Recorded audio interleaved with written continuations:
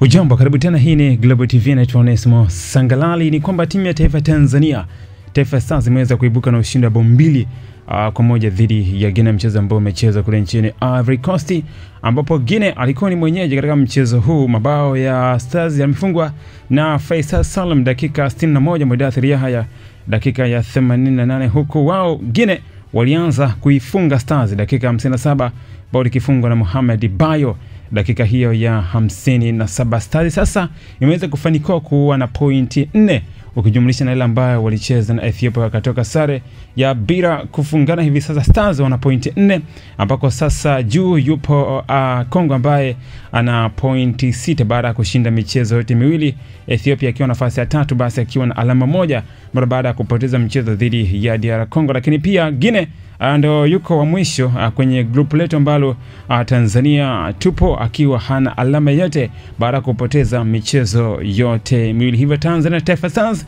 ipo nafasi ya pili kwenye kundi letu ikiwa na alama nne ambapo DR Congo akiwa na alama sita. Hivyo mchezo umemalizika, Stars mbili Guinea bao moja. Hii ni Global TV, naitwa Onesmo Sangalali.